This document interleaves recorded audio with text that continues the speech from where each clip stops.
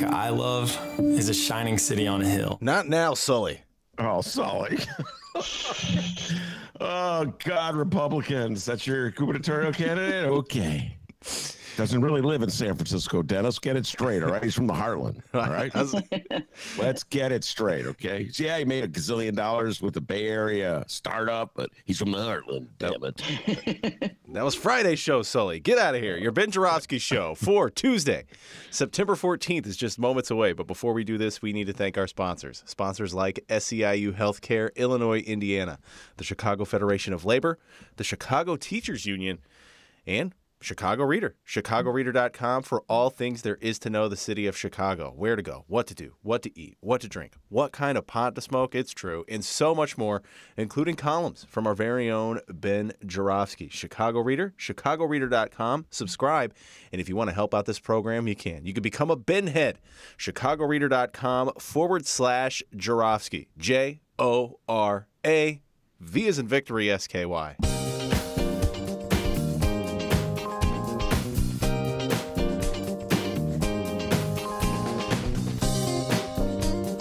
It is Tuesday, September 14th, and live from my apartment and his attic, this is the Ben Joravsky Show.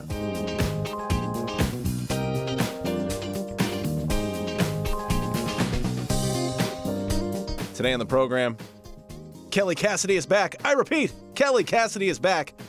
And David Weiss.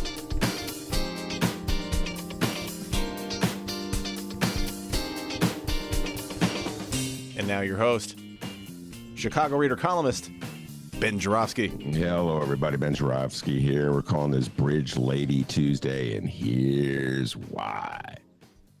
Woke up to see the Bridge Lady had died. Her name is Veronica Wolski. But Dennis and I called her the Bridge Lady because she was the fearless activist who stood on the bridge overlooking the Kennedy Expressway and hung her signs advocating for one cause or another, generally of the leftist persuasion. Hence the nickname, the Bridge Lady. Actually, I didn't wake up to realize that. I got a text from Frank.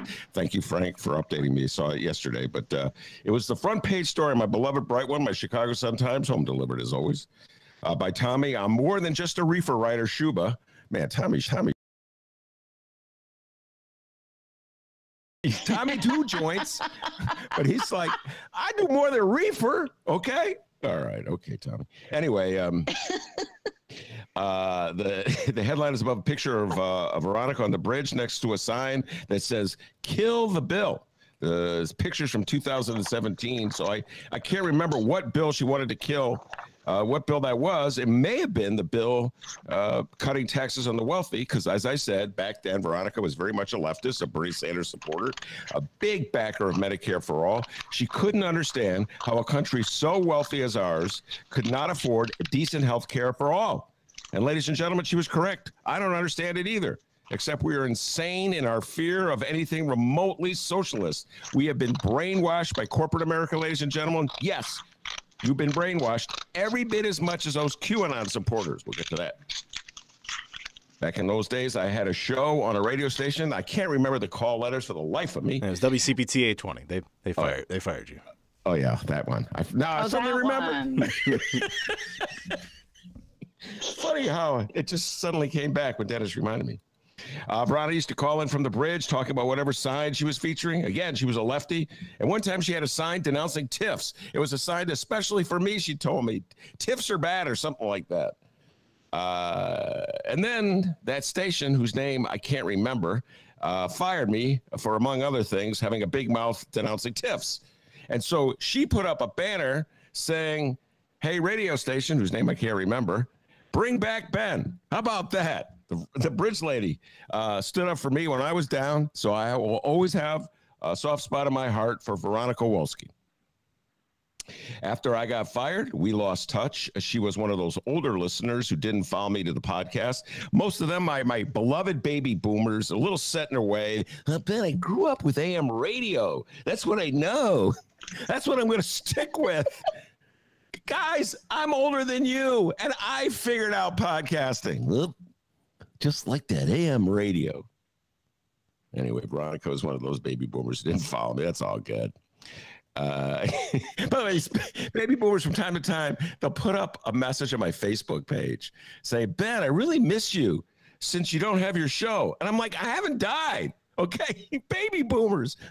Once you've left AM radio, you have ceased to exist. What I didn't know is that in the last uh, few months or years, uh, Veronica drifted right. She drifted so right, she landed in QAnon country. So the headline in the Sun Times didn't call her the bridge lady; it called her a QAnon backer. And Tommy Schuba's story described how she became a hero to the QAnon movement, and that. Uh, her signs in recent months included message against pandemic restrictions and vaccines. So I guess maybe there was a reason uh, she didn't listen to my show anymore, other than the fact that she didn't understand uh, how podcasting worked. She didn't get vaccinated. She caught COVID. They sent her to the hospital, and her supporters wanted her to get the horse deworming medicine. But the hospital wouldn't prescribe it, and I don't blame them because it's not approved by the feds and it's not certain whether it cure you or harm you. Just imagine all the litigation that could come if it harms somebody. And the more the hospital resisted giving her the horse pills, the more Veronica's QAnon supporters wanted her to get those pills. They harassed the hospital with phone calls, freaking out nurses and doctors and frontline workers who were trying to do their jobs. All because of these nutcases were using Veronica uh, to promote their weird theories and views of the world. When she died, a lot of her friends, but my friends of the liberal and lefty persuasion, reacted as you would expect, more or less along the lines of serves her right. Well, I don't say that. The Bruce lady was very good to me, and I like to fight with her. Uh, and uh, yes, I realize joining QAnon is a form of insanity, but I also know that this system can pretty much drive anyone insane. And besides, the Bridge Lady had a point. Our healthcare system makes no sense. Consider this when podcaster Joe Rogan got COVID, his doctors gave him the horse medicine. It was just one of the ma- many medicines Joe Rogan bombarded his body with. He got over his COVID. Now, I don't know if it was the horse medicine that did the trick, or the steroids he took, or any of the other medicines uh, that were pumped into his body. Or maybe he was just younger and more fit, whatever. Point is, our system of medicine is unfair and inconsistent and inequitable and wasteful, and serves more often, service more often than not is based on who you are and who you know. Just like Veronica said way back when. Rest in peace, Bridge Lady. We got a great show today. I'm looking at my next guest, Kelly K.C. Cassidy. She's upset. She's very upset. She didn't get the highest rating uh, or the lowest rating, however you put it, from the conservatives in the state of Illinois. That's not even what we're going to talk about that first. We'll get to that eventually. And David Weiss, our correspondent from the West Coast, will be talking about the special election in California. Yes, talk about madness reigning supreme. California's got a special election where Larry Elder could possibly be their next governor. That is freaking scary, ladies and gentlemen. I don't think it's going to happen, though. Uh, David Weiss will be with us in the second part of the show. Kelly, welcome back. Thanks for having me. It's good to be here. I've missed you. Yes, it's been too long since you've been here. Uh, and I immediately reached out to you when Texan, Texas passed its insane abortion bill. So we're going to get, we have a bunch of things I want to talk to you about before I let you go. We're going to talk about uh, Alderman uh, Jim uh, Gardiner. Uh, you've taken a stand uh, against him and his ravings. we're going to talk about what life is like in the legislature without um, Speaker Madigan. Uh, and I may uh, get your thoughts on Sully. I give you a go. homework assignment. Sully, the new um, Republican candidate uh, for governor, wants to be J.B. Pritzker. Don't call him Jesse Sullivan. He wants to be known as Sully to sh- prove that he really is from the heartland. Is he going to drop uh, his G's too, or is this just the new way of? Is, is this just you know the the new version of G dropping? Uh, Rauner Light. That's a reference to our esteemed not former Governor Bruce Rauner. Jesse Sullivan, by the way, uh, wants to make it clear, Kelly. We're already talking about Jesse Sullivan. We're supposed to do that later. We'll just we'll go backwards. Whatever. We'll go backwards. He's making it clear he's not like Rauner. I don't know if you saw that clip. I'm, I'm, I'm different than Bruce Rauner. I'm from the Heartland. He keeps saying that over and over again. So, uh, so he bless, really does drop his G. Bless his okay. heart. Bless his heart. Land. All right. Uh, Can't wait so to see let, the van. Can't wait to see the what? The van or, or what he does instead of Rauner's van to prove that he's just like one of us. Oh, I remember Rauner, the van, I remember motorcycles. Yeah, yeah. He, so he also had had a, a janky ass van that he drove around in, claiming to be just a regular person. I don't know who he borrowed it from, but it, it, it still looked nicer than mine at the time. Uh, that's a sad statement on the, the salary a uh, state representative makes. All right, Kelly, let's talk about the abortion uh, law in Texas yeah. Uh, and your response to it. I Absolutely. immediately. Go ahead. Yeah. Well, you know, and I think you and I talked about this when the Reproductive Health Act was pending. Um, you know, the, the level of pushback we were getting from more moderate colleagues who didn't want to take what they perceived to be a, a you know a tough vote uh, at, at, that point, and and really claiming that that you know we were overreacting, that we were um, exaggerating the threat to Roe, um, and this is exactly what we were talking about um, happening, and it was exactly why it was imperative that we do it then. Um, you know, the, the, the states around us and, you know, the whole southeast region of the country, you know, has been in a in a hold my beer contest to find the most atrocious uh, reproductive health law that they can find, and Texas seems to, you know, be be uh, in the lead at the moment in that contest. Uh, there doesn't seem to be a bottom though, um, and you know, this very uh, you know, clever workaround that it's individuals using the civil courts, not an action of the state, uh, to to to take action against people uh, seeking abortion services or the people who might help them. I mean, it, it is, you know, turning the entire state of Texas into the sex police. Um, it, it's astonishing. Um, and and you know the Supreme Court is is aiding and abetting in that effort um, by by refusing to to take it up. Um, so it, it is incredibly disheartening. Um, you know, but uh, I'm working on something here in Illinois that will um, acknowledge the, the space we have staked out. We we we very intentionally made ourselves a state that made clear that that not only were we going to protect reproductive rights for the people who live here, but we we were we were here for people who needed to come here. Um, you know, the the state of Missouri uh, has one abortion clinic. Um, uh, Hope Clinic for Women uh, in Southern Illinois serves as many folks from, from across state lines as from inside Illinois, and they've already seen uh, both there and at clinics around the state people coming in from Texas already. Um, so as this as this trend expands, uh, we can expect that states like Illinois that have made made a point of, of uh, protecting these rights are going to see people coming here. Um, and so I am uh, in drafting process of, of, a new law that will um, create a similar uh, civil right of action against anyone who causes an unintended pregnancy or anyone who commits an act of domestic violence or sexual assault.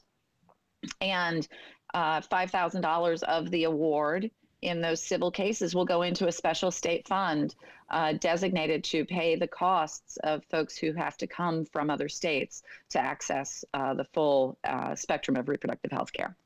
So you would get the money under the, the this law uh, if even if the the unwanted pregnancy was created in Missouri or Texas, or did it would it have to be in Illinois?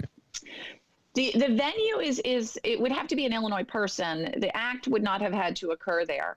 Um, it, it but it, it, would have to be an Illinois person. Yeah.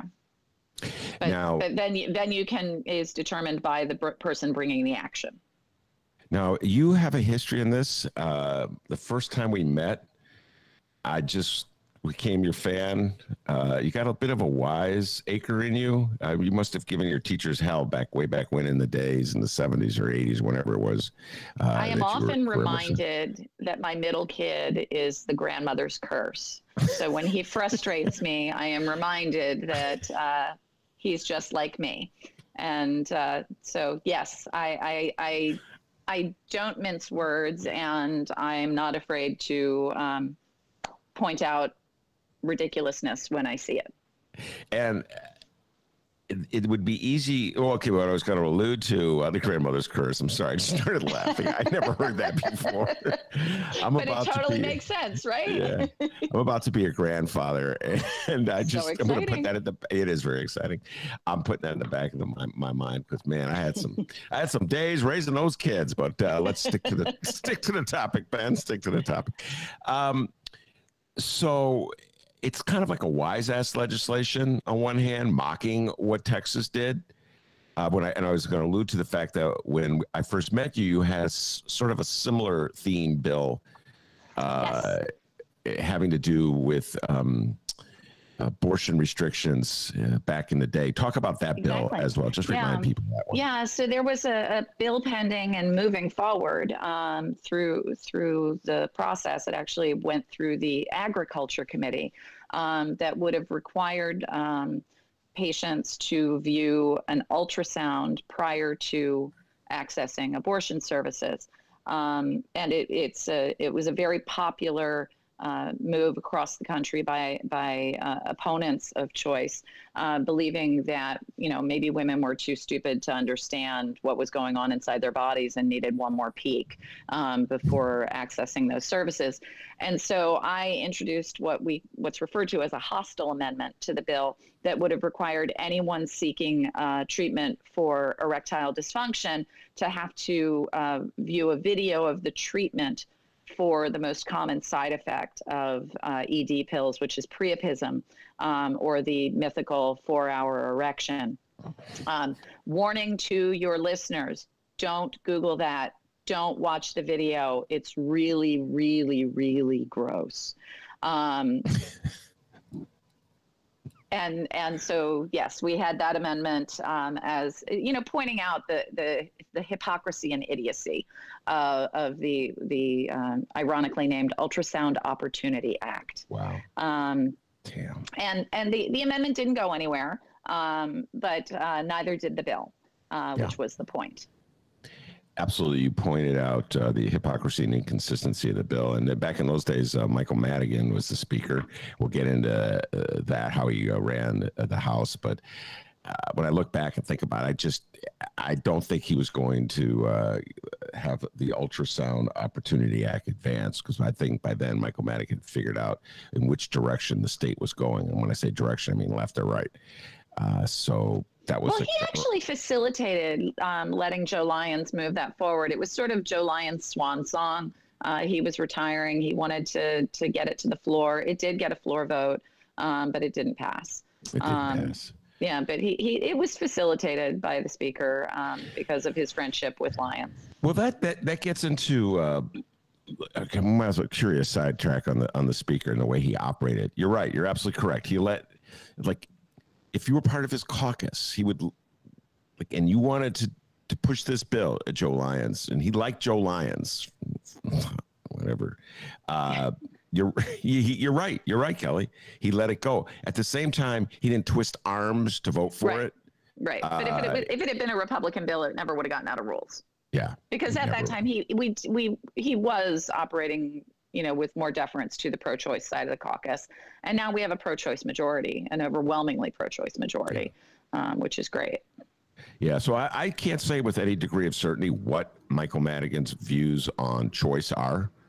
Um, I, I, think I've always thought that Michael Madigan essentially sees every issue uh, as a political issue, and he's always trying to weigh the benefits uh, to his caucus and his control. One hundred percent.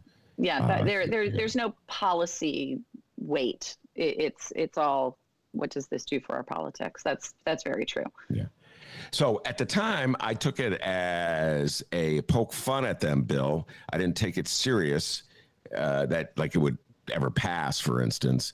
But this time around, I kind of have a different attitude about it. I feel like the the it's more of a dangerous time in many ways, Kelly. Politically speaking, uh, the far right is is is just nakedly bold in yeah. its ambitions, uh, and it's almost like you have to fight fire with fire. Do you view this as a satirical bill, or are you serious about it?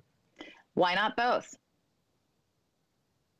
You know, I, I yes, I am pointing out the idiocy, um, the the yes, the idiocy of this approach. Um, but if this is our new normal, as you say, we have to fight fire with fire. Um, I don't believe we should be turning our, our, people against each other and, and setting up snitch lines, um, which, by the way, my, my son is a computer uh, kid, a computer engineering kid, and, and has been sharing the stories of the ways the youth have been messing with their their uh, snitch lines in Texas. It's been pretty fun, um, but uh, and so yes, the children will save us. Uh, but but it is, you know, if this is the new normal, then you're right. Fighting fire with fire is is what we have to do, and and if if this is the means by which we can provide support to folks who have to flee their home state to get health care, then that's what we're going to have to do. And uh, so, do you have any sense of how many? Uh, I know you haven't officially introduced the bill. Yeah, but... it hasn't been introduced yet. So we, I will wait. We'll see. I don't know. Um, you know, as I said, we have a we have a solid pro-choice majority. Um, so I imagine that uh, I'll have company. Um, but uh, but we'll see what what it uh, what form that takes. Well, let's talk about that a little bit. Solid pro-choice uh, majority in the House of Representatives. Uh, Terry Cosgrove, as you know, comes on the show all the time and to sort of warn listeners that if you uh, get lazy, get lax, you know, keep at it. Uh, this will go. This state will flip. It'll become a red state, and absolutely they'll move. To, and I actually agree with T- TC on this one. One hundred percent. But on this point, One, I'm with him. I agree yes. with him completely. I have watched the the southern part of our state that used to have um, you know really solid democratic representation not always pro-choice representation but solid democratic representation flip those districts one by one to the point where there are very few members from southern illinois in our caucus anymore. Um, and and the truth is you know whether they voted pro-choice or not they voted for this the the the they voted for the speaker that kept us in a pro-choice majority, if you will. Um, and so as that territory, as we lose that territory, we've obviously gained in the suburbs, but you know we don't know if those gains are permanent. Um, and so he's absolutely right to ring those ring those alarm bells. Um, we can't sleep on this majority. We can't assume this is always going to be a blue island in a sea of red. Um, I I worry about that constantly. Um, you know, the, we've got we've got these super minority uh, Republican caucuses that are fighting each other. But if they get their shit together, then we'll have a problem. Yeah. Uh, well, let's bring it back at this moment uh, to Jesse Sullivan and uh, Darren Bailey and the Republicans running for governor. Uh, Darren Bailey, your old colleague in the House, now a state senator, is running as sort of the MAGA candidate. Uh, just he's he's not ashamed. He's just MAGA, MAGA, MAGA yep. from the from the, the morning, moment he wakes in the morning to the, to the moment he goes to, to sleep.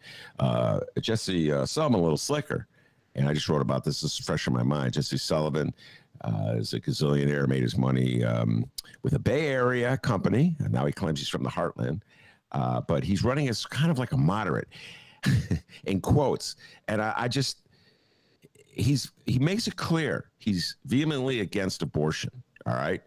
Uh, but what he says, as opposed to Darren Bailey, is like nuanced. That's the only word I you're politically yeah. nuanced. So he'll say something. He'll say, "I don't have the votes in the House, so it's not an issue."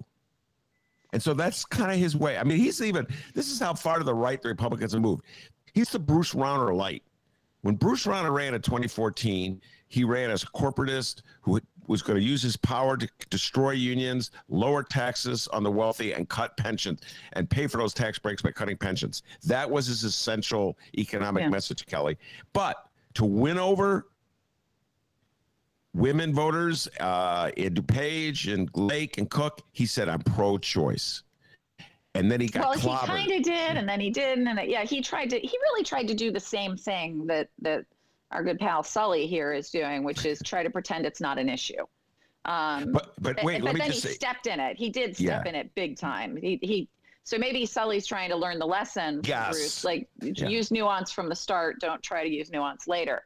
Um, but that's that's real. And if those those suburban voters who are you know more moderate on this issue feel like okay he, it's not really a threat i can go back to voting my pocketbook there's the problem that terry's referencing, right? There is the the the, the problem that that shrinks our majority um, because that you know we we've only had these suburban seats for a couple cycles. We have to know that we're going to keep them. Yeah. Uh, b- by the way, just uh, Terry would be really remiss of me if I didn't point this out.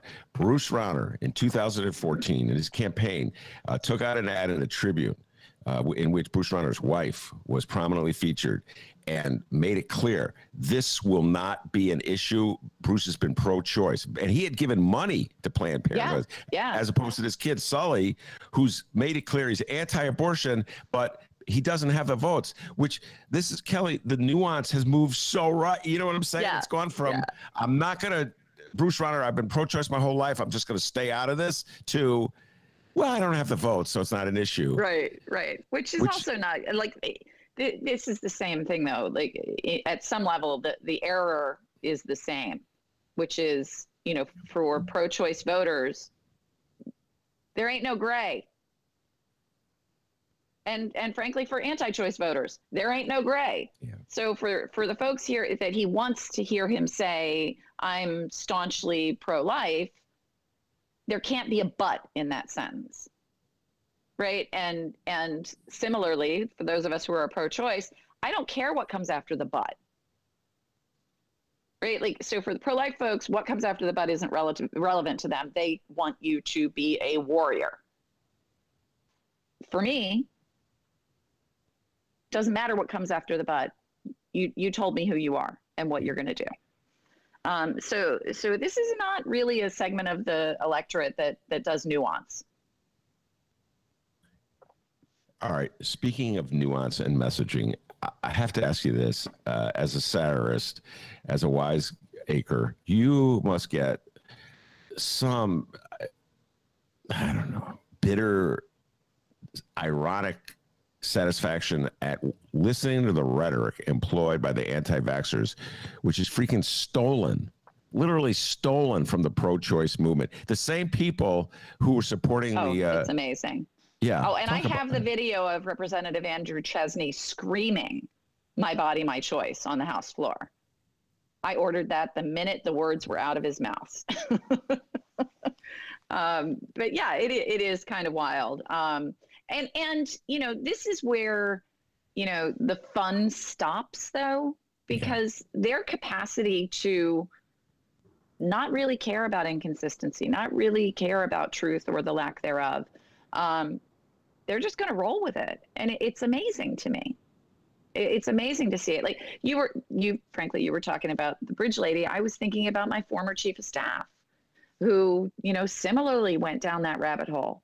Um, and you know emphasis on the former uh, because you know I, I i could not imagine how this person who had you know worked for me for three years suddenly believed these things.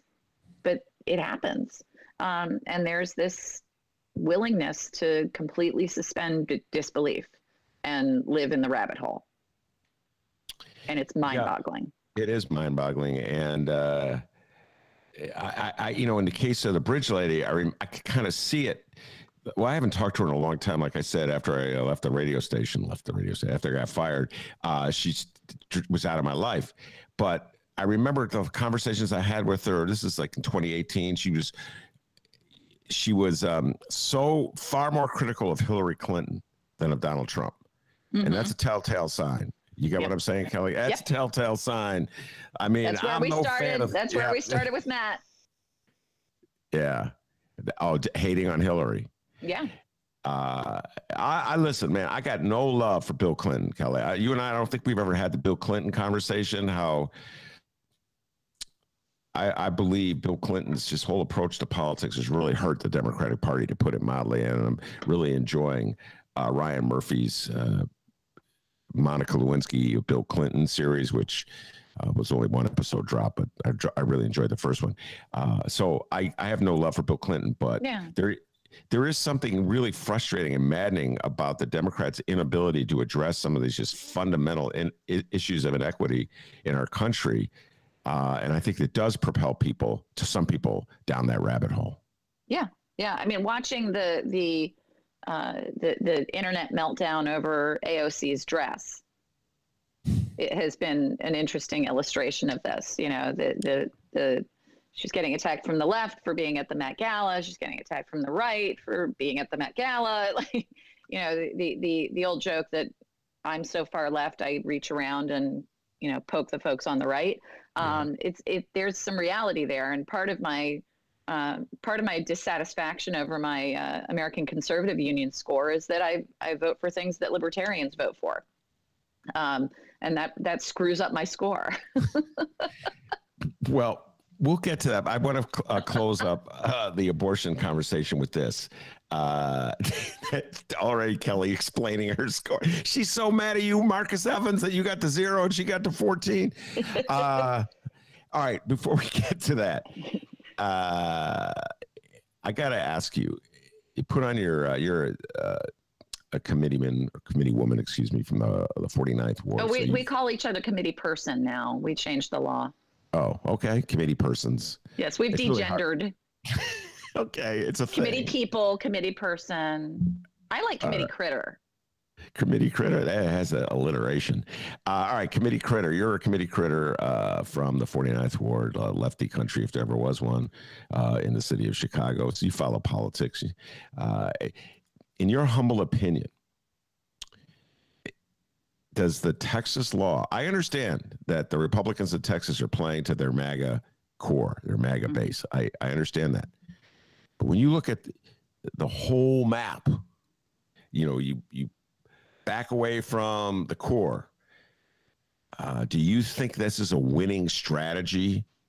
Just if you could distance yourself from the the feelings and passions you have about the Yeah. issue, just just think of it strategically. Do you view it as a winning strategy uh, or a potentially losing strategy for the Republicans? Well, I think it has to be evaluated in two ways, right? This was designed not so much as a political strategy as it was a legal strategy by someone who's been staring at, at Roe, you know, looking for, you know, as if it was runes that could give him a map to overturn it. Um, so, so you know, from that perspective, that's we know that's what birthed this.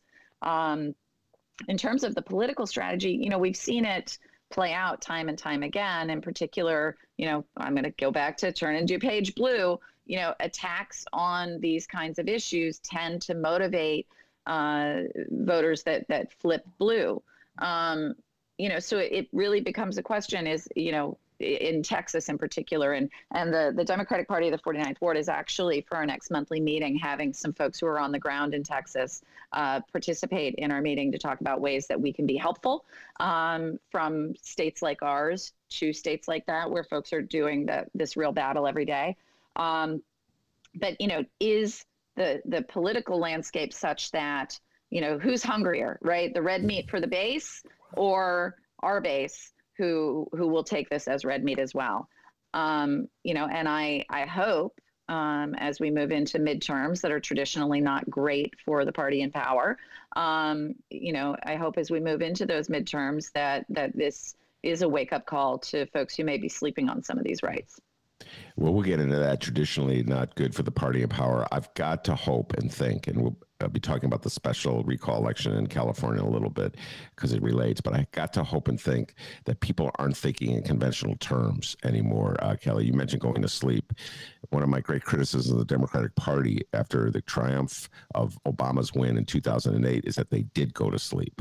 Uh, I, my sense of it is that we have a different electorate uh, here in 20. Nobody rejoiced. I mean, there was a sigh, a huge sigh of relief when Trump was defeated in 2020, but Trump never conceded. Within a month, they were there was an insurrection at the Capitol. Uh, it's 50-50 tie. Everybody knows the, that, or at least everybody who follows passionately knows that the Right. dynamics of this thing are very close. It's to me, it's a different political landscape. Uh, now than it was in 2010. So I'm not sure the conventional wisdom uh, prevails at this. Your mouth to? God's ears, man. I, I mean, I, I hope you're Yeah. right. I really do. I, I worry, um, but it's my job to worry. Yeah. Um, you know, both as as someone whose you know life's work is you know the, these issues of justice, um, and also someone whose you know task is to get voters motivated. Um, so I, I do hope that you're right, and I and I think there's a lot of logic to that. Um, I, I, you know, there's also the the fatigue of constantly being at war that that you know we see um, over the last you know five years. Well, I'll just point out about that. I, the other side never seems to be fatigued. They never get tired, man. They don't. Yeah, yeah. I, I just you know, and I don't get tired. I've been writing about politics since 1981. Okay, you know what I mean? It's like it's either you're into it or you're not into it. It's uh, but I hear you. Oh, I'm so tired. Oh, Democrats. Oh, I'm so Yeah. tired.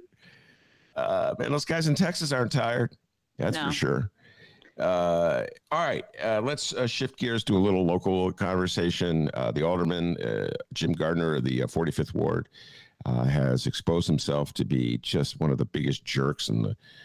And I and I, I'm a student of the Chicago City Council. He may be the single greatest jerk in the Chicago City Council. Uh, I got you know I said that. and that's Kelly. saying something. Yeah. You know, and I've had guys who I really enjoyed their company and t- talking politics that I didn't agree with them. You know, I'm thinking Yeah. of you, Bernie Stone. May you rest in peace. He would always call me up and criticize me for something I did wrong, which I never thought I did wrong. Uh, but this guy is just. There's something really twisted and weird about him, and uh, we had Ann Emerson on the show last week talking about the texts uh, that he Yeah. wrote, which he uh, called her a bitch, and just his rants against Joanna Klonsky, who's another uh, frequent guest in the show, and just uh, constituents of his. I mean, the man is just. I don't know. He seems out of control. So go ahead. He ain't right. He just ain't right, as we used to say in the South. Dude just ain't right. Um, you know, when I read all of this, and, and you know, someone brought it to my attention because of you know my my long-standing habit of you know speaking out on behalf of people that are being abused in power, um, or by those in power. I mean, um, and you know, as I started to dig into it, I, I really there were so many reactions. Uh, you know, the, there's the there's the just first level of, dude, why are you putting all of this in writing? But then there's you're attacking staff, and I have very strong feelings about how we treat staff. You know, I I just, you know, how you treat the people that that do the support work tells me who you are completely.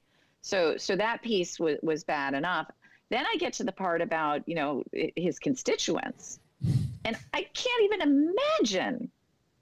You know, I- and and one I, I responded to somebody's tweet about that. That you know, I spent a good bit of time during the pandemic helping my constituents get their firearm owners ID cards expedited because the state police had such a backlog. Now, anybody who's ever looked at my legislative record knows I am one of the strongest supporters of gun control in the state, and I have the hate mail to prove it. But you're my constituent. I work for you. You need help accessing state services. I am on it. And and so the idea that that he would, you know, try to refuse services to constituents who he disagreed with was was mind-boggling. So there were these layers of horrified that I that I, I hit um, as as I dug through it. Um, you know, there are folks who who suggested uh, that you know I'm I'm trying to help a candidate. I, I, don't know anybody that's running. I, I know I've heard names now since, but I've never met any of these folks that, that are talking about running, and, and I may never meet them. This is about pointing out that this person who represents my party as a committee person, he's a fellow committee person, um, is, is exhibiting this behavior and taking these actions that run counter to the the um, the the philosophy of our party and who we want to be. Then you add on his endorsement of judges who actively seek to overturn Roe, and you're once again uh, in, you know at cross purposes to our party. Um, and you know anyone you know referencing back to our conversation about about the Texas Act, you know the the the the right has been methodical and brilliant in seating our courts at every level with the folks that they need to be in place now. They they've been doing it for the better part of a lifetime, putting folks into this into this pipeline, into the judiciary. They're now landing where they intended for them to land and doing the work they intended for them to do in in overturning Roe. And and so you know, for some to suggest, you know, who cares about his endorsement of a candidate for circuit court judge? I care. I care very deeply about that. Because that's what we're dealing with now at the federal level, and that's my life and my body. Well put. I, uh, I, who cares? I can't believe it. People have actually Yeah. deliver. I can't even get the words out. who cares? That's a, that's such a Chicago response. Uh, it's Well, a knee jerk because we don't take judicial elections seriously Yeah. because we make it impossible to.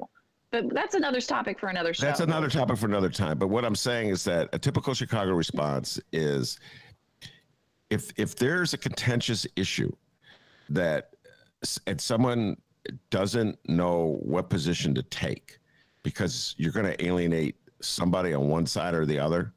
I've noticed this over the years. A typical Yeah. Chicago response is to say, "I don't care. Who cares?" Yeah, yeah. It's, I'm getting this right now, by the way, with with Rahm Emanuel being uh, appointed, uh, nominated to be ambassador to Japan.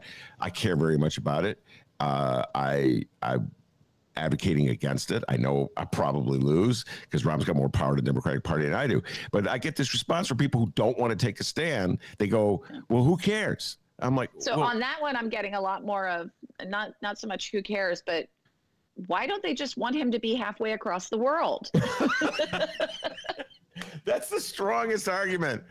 If I would have totally supported him if in 20, 2010, around September of 2010, Barack Obama had appoint, had nominated Rahm to be the ambassador to Japan, he would have no stronger supporter to sending Rahm to Japan. Do you imagine how the world would be differently if, if if they had done that? We wouldn't have had Mayor Rahm. Just think about that for a moment, Kelly Cassidy. Anyway, all right, we're going to close with your defense and explanation. Let's, but ladies and gentlemen, I'm looking forward to this as to why Marcus Evans defeated her for the coveted worst voting record of the year, uh, as given out by the what do they call the American Conservative Union, some Yes. far right outfit, and. Um, so everybody thinks of uh, Kelly Cassidy as sort of the leftist in the state rep, or at least far left. She's uh, from Rogers Park. It Doesn't get much leftier than that, and uh, and yet you have a higher ranking. I think you voted with. I think it's. I'm doing this on top of my head. Fourteen It was percent. it was ten percent. 10%, my bad. Which was a drop from last year, um, apparently. Um, so I, they sent this out to us with a, a, an announcement of who who's getting the awards for the most conservative uh, voting records. And you know we're listed in a section called the Coalition of the Radical Left. So I did reply to the email and ask if there was an award for um, leading the Coalition of the Radical Left. I haven't heard back from them yet. But um, so the the you know earlier I talked about being so far left. Sometimes I reach around and and you know can can reach the folks on the right. I vote with libertarians sometimes on deregulation type things. Uh, one of the one of the bills that that I got um, a, a thumbs up from them for was um, the the cocktails to go and deregulating uh, access to cocktails to go. So so there are things that I'm happy and proud to have voted for that they count as a good thing. That and that's what puts me in the 14% realm or the 10% realm. Um, but you know, folks like Marcus Evans and Stephanie Kifowit and a few others that, that got zeros. I'm I'm a little uh, I'm I'm I definitely am throwing the bullshit flag on that one. Um, well, maybe we will have a debate. We'll bring Marcus Evans on. You I, I'm actually living What's that? I, I love him. Marcus and I are really good friends. I would love to come on with him. It would be a blast. All right, we'll we'll work out. I'll I'll make that happen, and then we guys can fight over who really is the leftiest of the lefty. uh, I can't remember the. I you know what? I can't remember the cocktail legislation. What cocktails to go? It was So- allowing. It was it was removing restrictions on uh, liquor license holders from um, serving alcohol in containers to go. It was a pandemic response. Um, Did it to- to- pass? oh, it did. It did. And so Marcus was one of the people who voted against it. or maybe he wasn't there that day because Ah, they, they, they, there were there there were things marked you know not vote that they didn't vote either so it's possible he got a zero percent because he wasn't there to vote for it um, You mentioned libertarians. I'm going to close by tra- uh, trashing them. Uh, I would have a lot more respect for libertarians if I saw them in the front line of the war against the war on drugs. They were totally non-existent and uh, AWOL uh, in, in that war. uh, something Kelly Cassidy and I know a lot about because we've talked so much about legalizing marijuana over the years, and they are utterly worthless when it comes to uh, women's right to choose. which- Absolutely. And, and, and I will say, like, I get I get more help from them on the on the decrim, on the drug stuff, and on the the criminal justice reform stuff generally. Um, but I get zero response yeah. on, on you know why is why is my uterus an open season when nothing else is. So Yeah. yeah, there there there's there's a lot of hypocrisy there, no question. All right, Kelly Cassidy, thank you so much for coming on the show. Um, and uh, keep up the good work. I'm going to follow that legislation as when you introduce it, and let's see if the American uh, Conservative Union and the Libertarians join with you uh, in that legislation. I'm really curious to see. There, And, there, uh, there's always room at my table. All right, very good. Uh, Kelly Cassidy, thank you so, so much. We're going to take a break. When we come back, David Weiss will be with us. Stay with Thanks, us. Thanks, y'all. Good to see everybody. Take care, Kelly.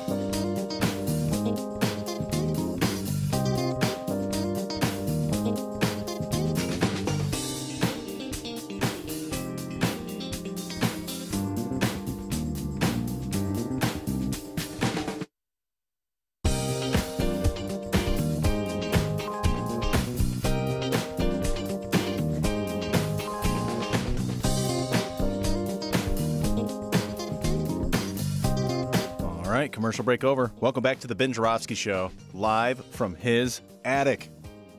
uh, with the special election uh, in the state of California, I decided we should. The time had come to turn to our special correspondent in Los Angeles. Uh, this guy is on retainer from the Ben Joravsky Show, and uh, he covers Walter Crankkite. Crankkite. Walter Cranky, Crankkite. uh, David Weiss. And uh, so, David, welcome back to the show. You look fit as a fiddle. Uh, Yeah. And so let me remind listeners uh, that David Weiss was on the show, I forget uh, when, but he was talking about how he was kicked off of Facebook. Usually uh, it's the QAnon people who get kicked off. No, they don't. That's but David Weiss, a filmmaker extraordinaire, uh, and oh, he used to live in Chicago back in the 80s. Bef- And before that, he's from Cleveland, folks. Yeah, he's from Cleveland, Ohio. We'll talk a little slower. Uh, and um, boy, that one went right over his head. Anyway, uh, so he's uh, now in LA. And uh, so before we get to um, all the other things you want to talk about, I have a whole list of them. Uh, David Weiss, uh, are you back on face? Yes, you are back on Facebook. Uh, have there been any more moments where they kicked you off, suspended Yes. you? yes. I missed that. Yeah. After the last time we talked, I got kicked off again for another 30 days. And this time it was because some woman posted something about Biden that was ridiculous. And I said, go F yourself. And she reported me for harassing and bullying her. And so all of the good little brown shirts at Facebook decided to take her word for it and took me off again. But I'm back. All right. Let's let's address this before we get to the California special election. They may all be tied together. So, if I may play sort of devil's advocate with you, uh, what is the difference between you complaining about uh, the censorship of Facebook and a QAnon supporter or a, uh, a MAGA person complaining about censorship at Facebook? Take it away, David Weiss. Oh, I, I don't think there's any difference. Meaning, you know, it's it's called freedom of speech. Um, I don't believe anything that QAnon says. I don't think they should be allowed to say anything that they say because it's detrimental to people's health, to the country, but they're allowed to. I mean, the Nazis were able to protest in Skokie. Did we want them there? No. But welcome to America. So, no, there's no difference between them and I asking for it. It's just me telling someone to go F themselves is not quite the same as, you know, these guys telling people they should drink horse detergent. Whatever the hell it is. Yeah. So that's the the difference is is what's behind it. But no, we both have a right to say what we want, and Facebook should not be the ones deciding who can and cannot say anything. That's even though it's even though it's their company, it's a private company. Uh, Yeah, but they opened up the town crier in the town square. So, yeah, I guess they do because they're a private company. But you know what? Who are you to say what's right and what's wrong? You know, then they should come out and make their own statement about well how they think the world should work. And then none of us will waste our time on there because we won't like what they say. Do you know what I mean? But they don't. They just say, "Here you go. Here's a page. Start talking." But then you slip up and you say the wrong thing or you call somebody the wrong thing. I mean, I got kicked off once for calling somebody white trash. Okay, then are you a website for only white trash people? You know what I mean? At a certain point, you either got to let it go or tell me what I can't do. yeah. And by the way, uh, the, And there's no recourse. Sorry. And and what pisses me off is there's no recourse. They write you and they say, "Well, if you contest this, you can let us know." And so you you barely find a way to write back to them, and they go, "Okay, thank you. No, you're off." Facebook. No, it's not a court of appeals. It's like No, it's not. so, Yeah, but then don't don't tell me I can appeal because Yeah. you're not going to listen to what I have to say. No, I, I, I, I- completely see uh, your larger point that there's a tremendous inconsistency, uh, and Facebook has made gazillions of dollars allowing people to put whatever they want on there, and now suddenly they're trying to figure out uh, how to be more or less responsible while they see the results of allowing anybody to put anything they want on there. Uh, Right. and, and they they're the ones that helped get Trump elected, and Yes, they, they did, did. it because they were making money. Yes, They didn't care about Donald Trump, or maybe they did. I don't know. I don't care. I don't know what. I don't think Mark Zuckerberg cares about anything except for Mark Zuckerberg. Yeah. Well, there is a uh, one of his top aides who is a, a Republican was the one sitting behind him when when Zuckerberg uh, talked before. Well, I think it was the Senate subcommittee. But uh, all right, what was it that the lady said that pissed you off so much about Biden? Do you remember? I, I don't remember. It was it, it was usually what they just say now. If you look at a lot of the posts from people, is he's ruining the country, and so you write back because okay, usually I don't waste my time because it's like arguing physics with a rock, right? I don't waste my time. So, you know, they say something and you go, okay, he's ruining the country. Please let me know how. And their response is, he's the worst president. To which then I go say, go F yourself. Meaning, if you want to argue with me and tell me why you think he's ruining the country, if you think, if I think you're correct, I'll go, huh, you're right. Maybe we should change that. But they don't have anything. They just, he's ruining the country. Okay, go F yourself because there's nothing else to say. Like you would just, if you were arguing rock, physics with the rock, you'd just throw the rock away because there's no point talking to the rock anymore. yeah. I have no idea what that metaphor means. I don't know, but it was pretty funny. Throw the rock away. Hope you don't hit anybody when you throw it. Uh, all right, so it's the uh, the day finally, the, the election day in California. Their uh, attempt to recall Gavin Newsom. Um, I've thought about this and written about it, and talked about it um, all over the map in terms of Gavin Newsom. Well, I'm not really all over the map. I I I can't even articulate what I'm trying to say now. It's so frustrating. Uh, Gavin Newsom brought this on himself for some outrageous hypocritical behavior, in my humble opinion. Okay, all right. Are we talking about the time that he went to the restaurant? Yes, Okay, absolutely. fine. Okay. That's one time. Was it stupid? Yes. Yeah. Mhm. But really, we're going to hold him up to the same level of recourse on that when we didn't do anything for Trump when he basically molested women. So I'm like, okay, I get it. Newsom did that. That was really stupid. Name me something else he did or something else he's done to ruin the state. And the list gets really short at that point. So, yeah, should he have done that? No, idiot. But recall him? They wanted to recall him anyway. So they just used that as an excuse. That's all. But Yeah. they wanted him out. They want him out because you know what? Republicans. Okay, sorry. Now I'm going to go all Californian. Go. Republicans have wanted for years to turn this state into six states. Okay? Mhm. One state would be San Francisco, one state would be Los Angeles, and the other four would be would be Alabama, Alabama West. Because once you get outside of the cities here, you are in Alabama in California. People don't understand that. It- It's West Virginia, it's Alabama. So they want six states because then they know Calif- you know, San Francisco and Los Angeles are going to vote blue no matter what. They get the other four states, which means they get eight senators. So they wanted to break this state up because, but we're also we're a blue state just because we have two of the biggest cities. But we're not a blue state. I, I'm seriously. You go 20 minutes from my house, and I'm I'm the wrong color white. You know. So it's it. People don't really understand this state. It's huge, and it isn't just blue. And they've wanted to turn the whole thing red as much as they can for years. They did it with Gray Davis. That's how we got the freaking Terminator as our governor. Yeah. You know, and now, and now, I mean, we're going to get the black Trump as governor if Democrats don't wake up. All right. So I uh, it- anyway, sorry. no, that was a great. Uh, you're You got to absolutely correct. understand this state. Yeah, and I and uh, that, that's the political reality. Uh, they were looking for the Republicans. I- We just finished talking about this with Kelly Cassidy, our previous guest.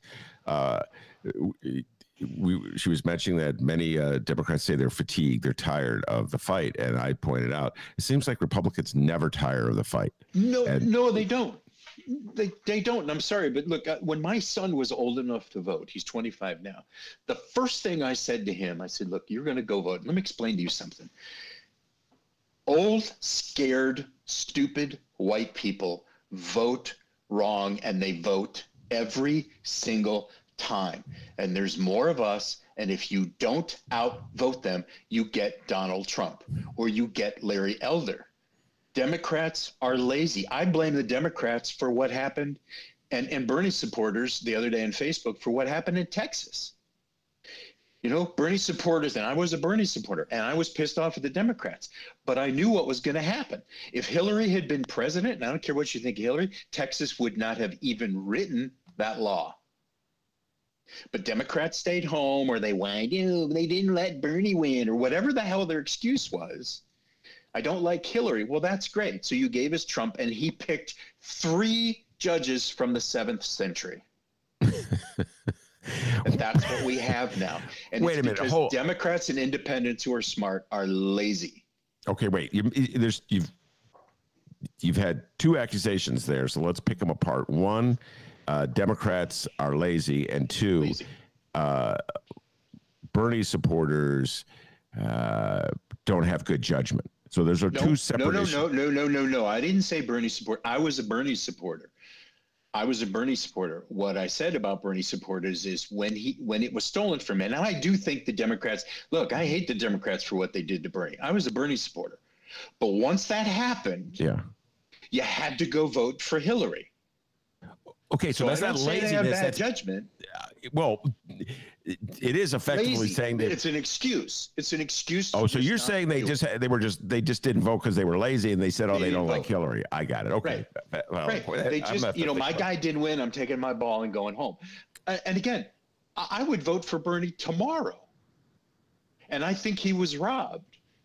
But the choice became Hillary or Trump, and we now have three Neanderthal judges who are saying it's okay for women to have a bounty on their head.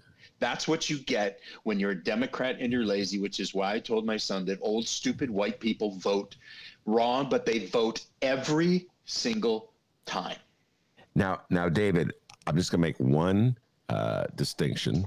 Uh, Yes. and Yes, I, Ben. you said that uh, if Bernie's supporters had turned out uh, uh, for Hillary in 2016, she would have won, uh, and uh, that Texas law wouldn't be there. I still think the Republicans would have pushed for that law, but what wouldn't have happened t- is that there wouldn't have been three Donald Trump appointees on the Supremes to essentially ratify it. Go ahead. Well, of course. But that's my point is they, they would have known, Texas would have known that. Of course they would have tried just because they're freaking backwoods idiots.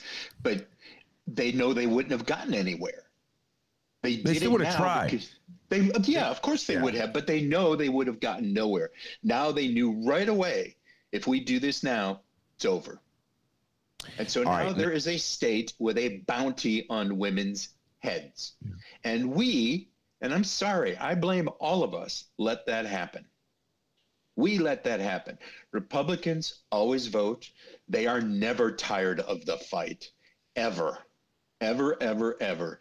Democrats can be babies and whiners and lazy, but we outnumber them. Yeah. And you, you can't say, oh, I want this and I want that and I don't want this, and then not vote. How come Biden went? Guess what? Democrats woke up. They came out and voted. But now we have yet another test here in this state. And I don't, you know, I don't know. California Democrats can be really lazy because we're laying on the beach and surfing and looking at the girls go by. No, I, okay. Now we're So- getting into the. Uh,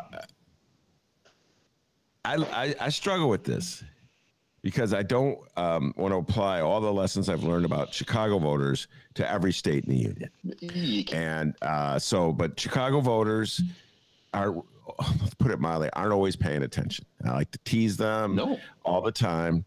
Uh, and they've elected some really lousy mayors, uh, and then uh, they don't and they don't pay attention to like the, the laws and the rules that govern politics. Uh, I remember having a conversation. We have a runoff system for mayor, uh, and so Rahm won the first round. Uh, he won a plurality of the vote in the first round, but because he didn't win a majority, he was in a runoff. And I remember voters telling me, "Wait, didn't I already vote?"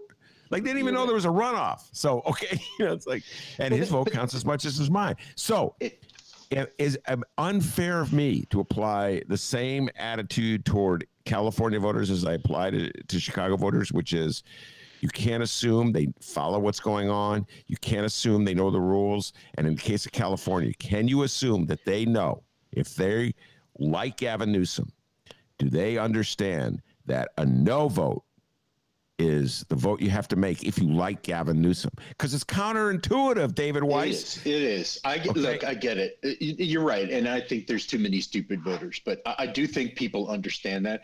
But let me tell you how screwed up California is. Like you talk about, you talk about uh, Chicago voters, and you're right. Probably just like voters everywhere, they don't pay enough attention. They don't understand their vote matters, and they don't always vote right.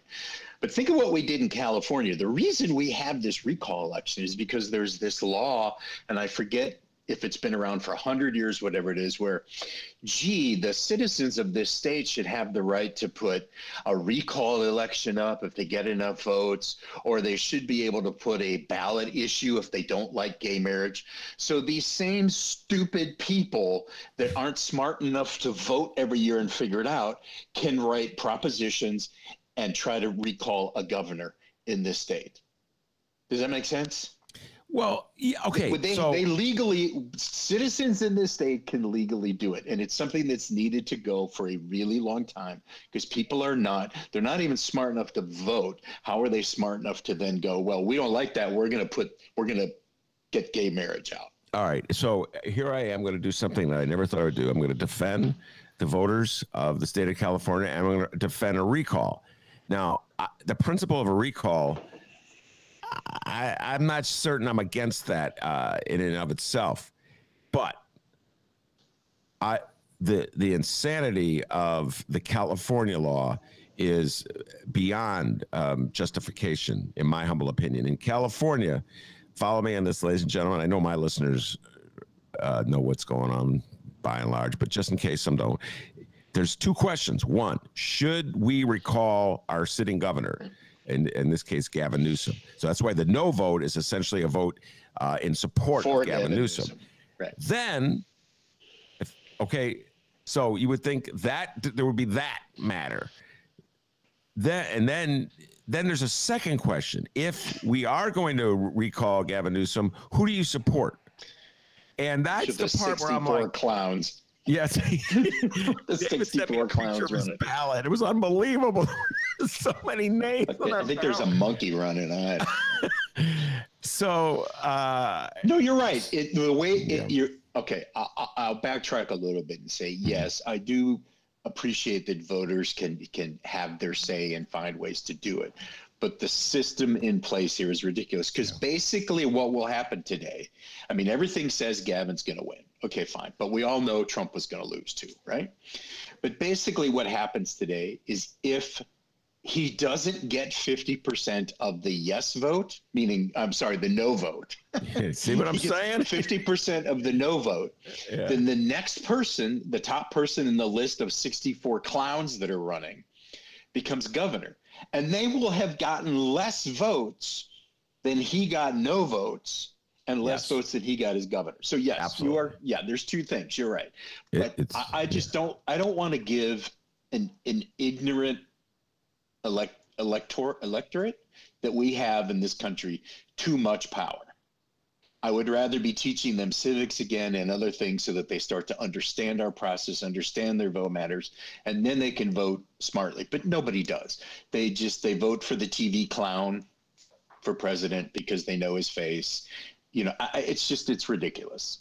All right. So, in your humble opinion, uh, did the Repub- did the Democrats of California err by not having a backup plan? So I've had this conversation with uh, many people throughout uh, the last few months. So the way the Democrats have gone, they've gone all whole in for uh, Gavin Newsom. They're urging people vote no on the first question, and with the idea if we they get more than fifty percent of a no, they get fit, no's win by with more than fifty percent. They don't have to worry about the second question. So they don't have a Democratic candidate, a well-known Democrat, as a backup in case the yeses actually prevail. I've been a little. This is the part about the calculation that I don't uh, don't quite agree with. Uh, your thoughts on this, David Weiss? Well, Ben Joravsky, I think that the Democrats, what is the point of having a plan B? Because if the lead Democrat who won by millions of votes when he was elected the first time can't get 50% of the no vote, what makes you think that the so, so then Democrats didn't vote? What makes you think that the next person in line is going to be a Democrat? Does that make sense? Oh, I'll tell you what makes me think. Just what you said before. I'll tell you what makes me think. This is what makes me think that. Because right now, the way it's going to work, if he loses, if yes prevail, uh, Newsom will have gotten, I bet he, it'll be very close. So he will have gotten at least close to 50% of the vote, uh, the total vote that came out. Okay. Larry Elder, who's leading in the polls right now, the, the far right wing talk show host, will probably, according to the polls, uh, prevail in the beauty contest of Yes. who do you want to be our governor if you vote yes. All right. by default. Uh, Yep. So with about he'll get maybe twenty percent of the vote. I have to believe that if I put David Weiss in there with the, the he, well, you get a lot of conservative my, vote with my wife wouldn't even vote for me. So I put any I, any Democrat would get more votes than Larry Elder. I have to believe that. no, no, because those people would have already voted for Newsom. Because they already voted once for Newsom. Why would they suddenly just go, yeah, those Republicans are right. We should get rid of them. Let's vote for the Democratic monkey they put in the list. No, No, I don't think because that would ever I, happen. I think I, this is where maybe I have too much uh, confidence in the California voter. I think the California. I, I think the Any California voter could figure out that vote. This is vote no on recall and then vote for the backup. In fact, they Yeah. should just call the guy. Let's say his name is Billy Jones. It should be Billy backup Newsom Jones. I Billy. I understand what you're saying. I just Hey, you got to keep it simple for the voters of California. Okay. Well, I agree that it's a mess what we're doing. but Yes. it should be Gavin. You know, they just should have waited another year. I mean, that's the other thing. If the black Trump gets in, he's going to be there for about nine and a half months. Which, on one hand, you go, well, that's good, but on the other hand, he can dismantle everything in this state in an hour, yeah. and will. Yeah. He is uh, really insane. He's a lunatic. Yeah, he's a lunatic. So, Uh, someday you should look. I don't. I wish I had it somewhere, but you should find the old interview he did when they asked him about reparations. No, I saw that. I've seen it all. I did the deep dive last uh, weekend, Yeah, the rep- where he started defending the rights of slave owners. We talked Slave about it on the show last week. Uh, and uh, no, Tom he's a Elder. So Tom Elder is running. Uh, all right, now let me ask you this. Uh, so, Uh-huh. when you voted, and you voted early, am Oh, I correct in that? I was supposed to vote? Yeah, of course. Uh, so you voted no, correct? Mhm, mhm. Did you vote in the second part of the election? Did you vote for any of the 64 candidates? No, you don't. You you you. In theory, you shouldn't. But in practice, you're allowed to. You're allowed to. Sure. No. No, I didn't vote. What? I'm going to vote Caitlyn Jenner. Just for a joke to give her 11 votes. oh, I, I mean, seriously, I I just yeah. it is a uh, clown car of candidates. Okay. It- it's just you know again if you know it goes back to what i said about republicans on facebook you can complain to me all you want about newsom but a one tell me what he did wrong and two tell me what you would do differently and they can never do that none of them so they just don't like newsom. Why? Because he made him wear a mask. Yeah. you whiny little bitches. You just wear wear a mask. So that's and really our economy is back actually better than this than the united states in general. Our economy is back. So again they don't this has nothing to do with facts or knowledge or thought or anything. It's get rid of the democrat because he made us wear a mask and we don't care if we get a monkey or a transvestite or whoever. We don't care. It, this is this is the stupidity that our country has come to. And unfortunately everybody thinks oh california's this liberal mansion. No no we are home to all of this crap. We just look good. We just got good weather. But You actually don't have great weather anymore. You have, no, uh, well, right. oh is that climate change? That's right. Yeah, which is not existing. if you believe in that thing So you talked, uh, we were talking before the show, you were saying that, you see a connection or correlation between the special uh, recall election in California and uh, the anti vaxxer movement. And I said, save it for the show and explain what you were getting at uh, when you were with me uh, talking for everyone to listen. So Well- explain the co- connection. Go ahead. you've got all of these right wing people. I don't even think some of them are right wing. Some of them are just I, I don't know uh, Nazi, whatever they are. All all this outlying people that just do not want the government to interfere with our lives, right? So if you make me do anything that's going against what I think is my right, unless of course it's abortion, because then it's okay if the government, you know, if you're a woman, then we don't give a shit what the government does to them. But you know, if you're gonna make me wear a mask, or I can't, I can't have my gun on my hip, or I can't have any of these things, then I'm gonna vote you out because I want those things. So there's no more caring about, well, gee, if I wear a mask, that would take care of somebody else. Or if there were smart gun control, that would maybe get the, the guns out of people's hands. No, they just, you're, my government's coming after me. And so this all, I mean, it started long before Trump, but Trump brought it out into the light that these kind of people are out there. And so they're like, well, just get rid of that guy because he made me wear a mask. Well, guess what? Larry Elder comes in, more of you are going to die. So you don't think it through. So they're all the same. All of these lunatics are just, you know, don't tread on me. And guess who? All of these people, all of these you don't tread on me, these anti-mask, they're the ones dying from COVID. Mother Nature has a wonderful way of thinning the herd of political lunatics. But they don't believe in science. They don't believe. Yeah. So it just, I mean, it's it's it's just this attitude that whatever I don't like, I'm going to go after. And they don't think about what that means.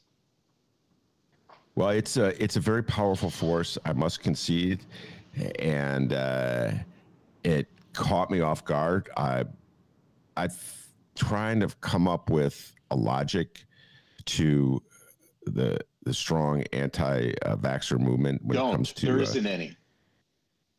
There's none. There's Yeah. no logic whatsoever. There's none.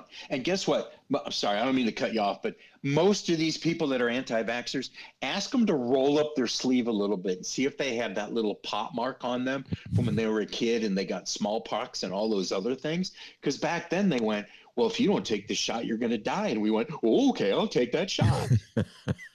and they all have it. And now you know what? And now their kids are dying, and it doesn't even matter. Well, how long do you think the Republican Party, the leaders of the Republican Party, will resist, uh, will, will champion them? And I'll give you an example. Forever. Uh, well, let me give you my example. And then you're, uh, uh, D- David Weiss loves the Chicago Cubs for a reason I'll never understand. Uh, and the Cubs are currently owned by the Ricketts family, one of whom is the governor of Nebraska. I love to tell Cubs fans this that whenever they support the Cubs, they're effectively subsidizing I- the I- Trump empire. Uh, but Governor Ricketts, Pete Ricketts, I just read a quote from him, and uh, he's kind of in, he's like one of these Republican governors who's sort of trying to dance around this issue.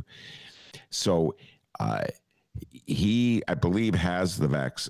Uh, he took the shot, but He he, doesn't want to. Yeah, he not a complete idiot. Uh, anyway, so he's, he's just a hypocrite. Uh, so he got the vaccine, but he's saying, I don't think everybody should have to get the vaccine. It should be a matter of personal choice. This is what he says. And then he says he's trying to draw a distinction between people back in the day who uh, got, let's say, uh, a polio shot uh, with people today who are resisting. And his argument is, well, they had more time. The government didn't uh, impose it. I don't know. He made it up as he went along when he said this, but they had more time to. So, how long do you think the Pete Ricketts of the world will bow to the extreme views of the anti-vaxxers uh, in the Republican Party? Go ahead. forever because that's who votes for them. Why would they go against them? I mean, look at Asa Hutchinson down in Arkansas. No, you really should get a shot. Boo, boo. Oh, wait, I'm sorry. It's a choice. You should do it. Can't even stand up. And let, let me just, I'm going to, this is one of my, this is a David Weissism. If Donald Trump, and as much as I hate that guy, the Ricketts are number two. Trump's still number, actually, Mitch McConnell's number one. But if Donald Trump, the minute the minute that they knew this COVID 19 and what it could do had gone on TV and said, everybody, you should wear a mask. We're going to make a vaccine, and this vaccine is going to take care of you. There'd be maybe 400,000 more people alive, and he'd be president today. All they care about is getting to stay in power, to keep getting votes. So they'll stay with it forever. They don't believe in it. Every one of those people, everybody on Fox News, every Republican in power has been vaccinated. Or even on top of being vaccinated, if they got sick, they got all the, the right medicine that you and I can't get. So the hypocrisy just, and you know what? Uh, The only way to get them out is to have their voters die. And Mother Nature's taking care of that. Well, I don't think we could depend on Mother Nature in this one. Uh, I got to tell you right now, as and I'm an old geezer, uh, I, the I, I'm worried about where you never know uh, the mutations of the virus. Uh, we started bowling last night my bowling league, so I'm wearing a mask. Everybody's got a shot, and I'm, I'm still and I'm talking to this one guy. He goes, "Yeah, I got it. Uh, it was a breakthrough virus. I got it." He's wearing his mask because he's telling me this. We're all good citizens, you know, wearing our masks, and um, so I realized, you know, maybe the next version of this disease uh, will have greater success or luck or whatever how you want to phrase it Yes, against it- the vaccination. So it is a scary thing, and Of I can't. course it is. Yeah. But sorry, but that's why, you know what? The reason it keeps mutating is because people keep getting it because they won't get vaccinated. You know, but these same people that don't want to be vaccinated and don't want to wear a mask also don't believe in evolution. Guess what? The virus does. the virus does not give a shit what you think about anything. Yeah. And people just can't get it through their heads. And I'm going to tell you if one more person gets interviewed on TV on their deathbed going, Oh, I wish I'd have taken that shot. No, die. I'm sorry, just die. You've done your damage to this country. You are, you are, and think of the, I mean, I guess we should have known this country was off the deep end when 26 year old kids were killed in Sandy Hook and we couldn't do anything about that. But think of all of these kids that are dying now from this COVID. And the only reason they're dying is because the people around them will not get vaccinated, wear a mask. Hmm. And we still don't care. Well, I now that'll be us. interesting. Yeah. No. I. By the That's way, us. I you mentioned Sandy Hook and you mentioned uh, the fights over regulating guns, the sale of guns, and the fact that the NRA uh, has been able to resist pretty much any attempt to seriously regulate uh, the sale of guns in our country, uh, and they they've blocked a bill that would hold gun manufacturers liable for the carnage they cause, which is That's where their money the- comes from. all right. So um, I really, that's to me, I've been thinking about this. That's the parallel I see with the anti vax movement. And there's like an arrogance. You talk about Democrats being uh, ultimately lazy and wanting to go into the beach, uh, and not wanting to, to vote, getting fatigued after one presidential One election. time, I'm tired. Oh, I Uh, got four years. I could. Oh yeah, but uh, there's kind of a, uh, an arrogance to the Rep- take kind out of. There's an arrogance to the Republicans. yeah, there is. Uh, That's and how they, they won. feel, yeah, and they feel like they created a uh, a liberty and they're uh, a right, like a sacred right, and then they champion that right, uh, and that becomes a cause, whether it makes sense or all, whether it are consistent in the application of rights, and um, yeah, they rally around it. So it, it gets them. victorious Remember, it just gets them. what's that? It gets them voted back in. Yeah. It doesn't do anything for the constituents. These people vote against their own best interests every single time. But it keeps Republicans in power, and they all have money, and they all have the shots, and they all ain't getting sick. Yeah. And people just can't wake up. Yeah. All right. Um, so we'll close with a, uh, a bright prediction, an optimistic prediction uh, from our uh, correspondent in sunny California. Will Gavin Newsom prevail uh, in this recall? Will will it be close, or will we know tonight at approximately midnight Chicago time? Well, I, I, I- I will tell you why. I, I mean, I do just in general think he will win, but I will tell you why I think it will not be close. That's because already yesterday, Larry Elder and his team came out with there's fraud in the election. They've already started that course because they know they're going to get their asses kicked, and they've already started putting that out there. So that's the other reason I know Gavin. They know that they're going to lose big Yeah. time. So it- that's not. That's why. yeah. So that, that's why you're saying it's not going to be a close election. It's Okay. not going to be close Yeah, because they're you're already freaking. They're already freaking out Yeah. and knowing he's going to get kicked. No, I mean, the- I, the only the only I'll tell you, besides Newsom getting reelected, the only thing that would make me feel any better and made sure that this two hundred and sixty million dollars we wasted on this election was worth it is if Caitlyn Jenner got more votes than Larry Elder. oh Lord. that would have made it all. Well, you could have voted. You could have voted. You could have had a, pl- not- a I hand in that. no. I don't take no risks because I know I live amongst stupid people. No, what I'm saying is you could have voted the second I part. know All I right, I'm going to let that one go. Uh, David Weiss and I have been known to carry on debates for years and years. The man used to live in Chicago. I knew him back in the 80s, young man. Uh, David Weiss back in the 1980s. I was drunk then. It wasn't as easy to formulate ideas. Uh, but you're sober now.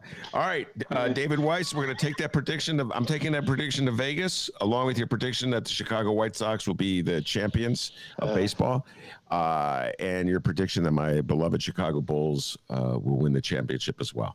Um, I, ooh, I don't know. I think you're one for two on those.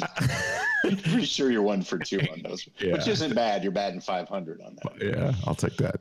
All right, David, thank you so much, and right. uh, appreciate you taking the time to come talk to us. Right. Uh, and I also rant. And I also want to thank Kelly Cassidy, State Representative Kelly Cassidy, uh, our guest earlier in the show. And of course, I want to thank the man, the myth, the legend, the pride of joy of Alton, Illinois, without whom the show would be possible. And as David Weiss will tell you, back home in Alton, they call him White Lightning. Give yourself a raise, take it out of petty cash. See you tomorrow, everybody. Bye.